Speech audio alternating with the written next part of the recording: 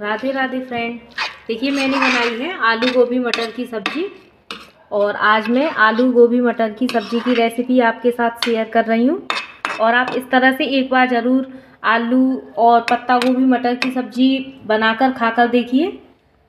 चलिए, मैं आपको बताती हूँ पत्ता गोभी की सब्ज़ी को इस तरह से बनाने की रेसिपी तो फ्रेंड्स आज हम बना रहे हैं पत्ता गोभी मटर की सब्ज़ी। देखिए, हमने तेल को गरम कर लिया है। और ये हमने डाल दिया चुटकी भर हींग। और देखिए, ये मैंने लहसुन और अदरक को दरदरा कूट लिया है। आप चाहें तो पेस्ट भी बना सकते हैं। इससे सब्ज़ी में बहुत अच्छा फ्लेवर आता है। थोड़ी देर तक भून लेंगे हम इन्हें देखिए, पत्ता गोभी मटर आलू की सब्ज़ी आप इस तरह से बनाकर देखिए। बहुत ही यम्मी सब्ज़ी बनेगी। देखिए, मटर को डाल दिया है हमने इसमें। और अब हम इसमें धीरे धीरे मसाले डाल देंगे। देखिए, ये हल्दी, कुटा हुआ धनिया और ये लाल मिर्च। लाल मिर्च आप अपने स्वाद के अनुसार रखिए। मटर को थोड़ी देर तक भून लेंगे इस तरह से। देखिए फ्रेंड, हम डाल रहे हैं इसमें आलू। छोटे आलू चुने हैं मैंने सब्ज़ी के लिए। चला देते हैं। सब्ज़ी में नमक डाल देते हैं। आप नमक अपने स्वाद के अनुसार डालें। देखिए, ये है कटी हुई मिर्च। डाल देते हैं इसमें मिर्च को भी और अब हम इसमें डालेंगे पत्ता गोभी। देखिए, मैंने पत्ता गोभी को अच्छी तरह से धोकर बारीक काट लिया है।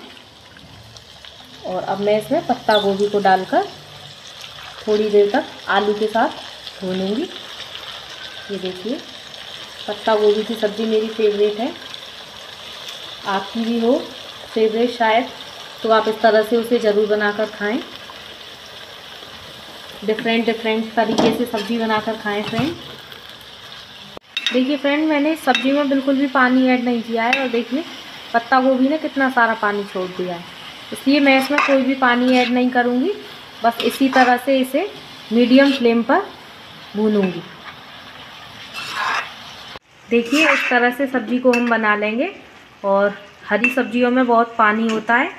सब्ज़ी ने देखिए, खुद से ही इतना पानी छोड़ दिया है कि मुझे इसमें पानी डालने की कोई ज़रूरत नहीं है। और गैस को मीडियम फ्लेम पे करके मैं सब्ज़ी को ढककर पकाऊँगी और हम फिर पाँच मिनट बाद सब्ज़ी को देखेंगे। चलिए फ्रेंड सब्ज़ी को खोल कर देखते हैं। सब्ज़ी में हमने कोई पानी नहीं डाला है। और ये देखिए सब्ज़ी हमारी आलू दबा कर देखते हैं। आलू भी हो गए हैं और अब हम इसमें डालेंगे ये हरा धनिया। चला देंगे सब्ज़ी को। चलिए फ्रेंड सब्ज़ी को खोल कर देखते हैं।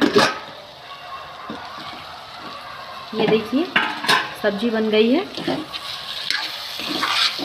और आलू को दबा करके देख लेते हैं। आलू भी हमारे अच्छी तरह से गल गए हैं।